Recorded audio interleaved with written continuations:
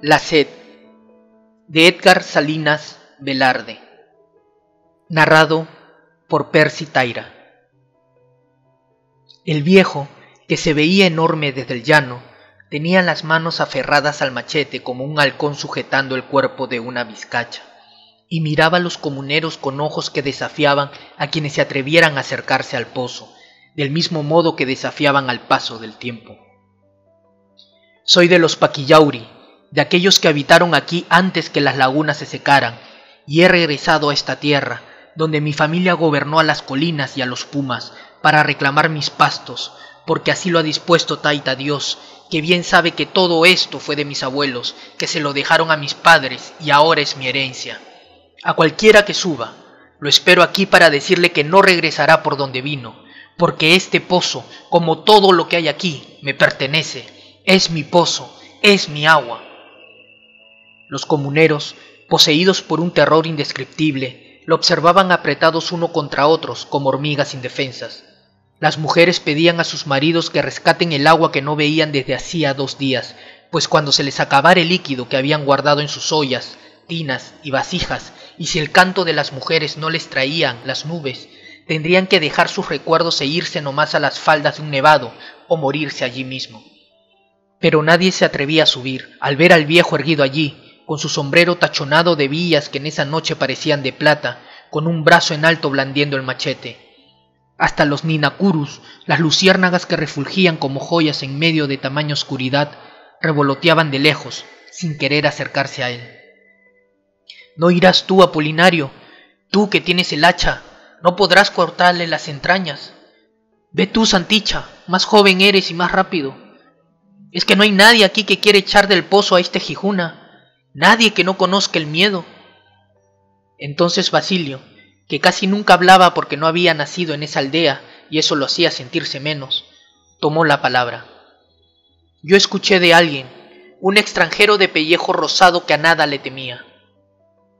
Intrigados, los comuneros miraron con pupilas dilatadas a Basilio, que seguía chachando para soportar la sed. Entonces lo acribillaron con preguntas. ¿Un extranjero?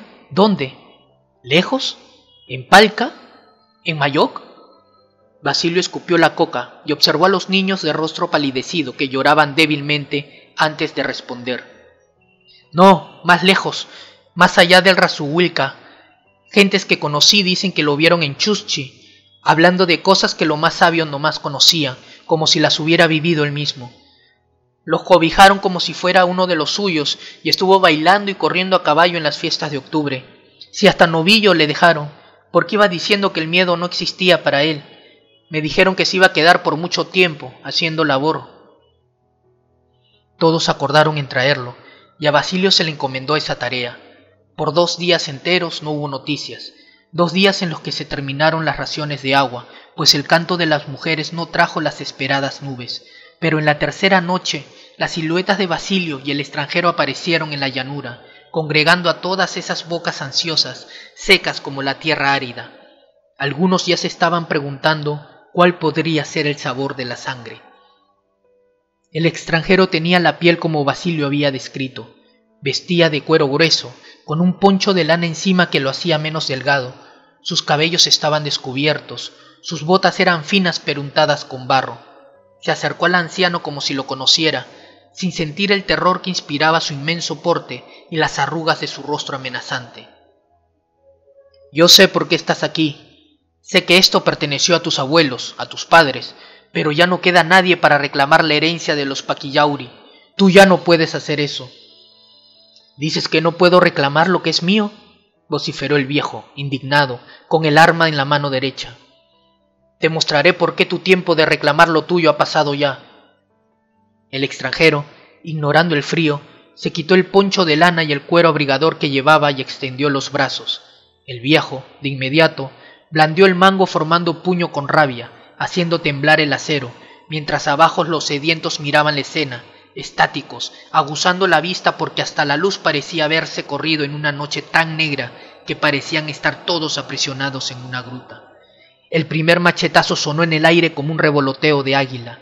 Las mujeres más jóvenes, en medio de gritos, se taparon los ojos escondiendo sus rostros con las liquias. El segundo machetazo sonó más fuerte aún, más fuerte que los truenos que resonaban en las montañas. El tercero más fuerte que cualquier otra cosa oída jamás en la naturaleza.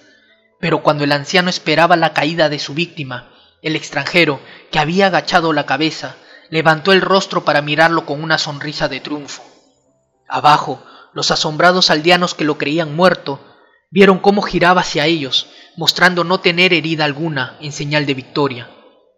Luego, el hombre de pellejo rosado se dirigió al atacante. Anciano, has visto cómo el poder de tu machete no ha alcanzado para quitarme la vida. Tú sabes bien por qué ha sido así. Ahora, deja la aldea en paz.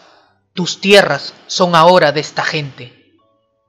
El viejo, derrotado, se hizo a un lado, señal para que la gente se hiciera de nuevo con el pozo. Y mientras el extranjero se iba de regreso a Chuschi, solo y a pie, sin temerle al largo camino, todos los hombres y mujeres corrieron a llenar sus vasijas con el agua ansiada, al tiempo que los niños, viendo al viejo sentado en un tronco de eucalipto, lo rodeaban y jugaban a atravesar de un lado a otro, tranquilamente, el cuerpo del fantasma.